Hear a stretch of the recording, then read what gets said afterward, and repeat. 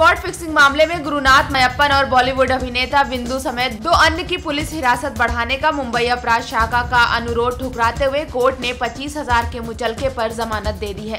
Court ने सभी आरोपियों के देश छोड़ने पर रोक लगा दी है और उन्हें हफ़्ते में दो बार क्राइम ब्रांच के सामने पेश होने के आदेश दिए हैं। बता दें कि मयप्पन बिंदु और आठ अन्य आरोपियों को आईपीएल सट्टेबाजी मामले में गिरफ़्तार किया गया था। इस मामले में मुंबई पुलिस द्वारा गिरफ़्तार सभी आठ आरोपियों को अदालत ने जमानत दे दी है। कोर्ट ने पच्चीस हज़ार की ज़मानत दी है हमारे क्लाइंट को। इनफैक्ट सारे ऑल सब एक्यूज़ को पच्चीस हज़ार की ज़मानत दी है और कंडीशन ये है कि एवरी ऑल्टरनेट डे अटेंड करेंगे क्राइम ब्रांच को।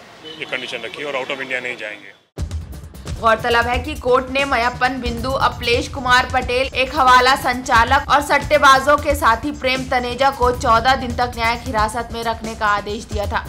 चेन्नई सुपर किंग के मालिक मयप्पन को आईपीएल सट्टेबाजी स्कैंडल में होने की वजह से 25 मई की रात को गिरफ़्तार किया गया था। सट्टेबाजों के साथ रिश्तों के आरोपों में 22 मई को गिरफ़्तार हुए अभिनेता बिंदु ने मयप्पन की तरफ़ से सट्टा लगाने की बात कबूल करने पर सबकी नज़र मयप्पन पर टिकी हुई थी। News point bureau Mumbai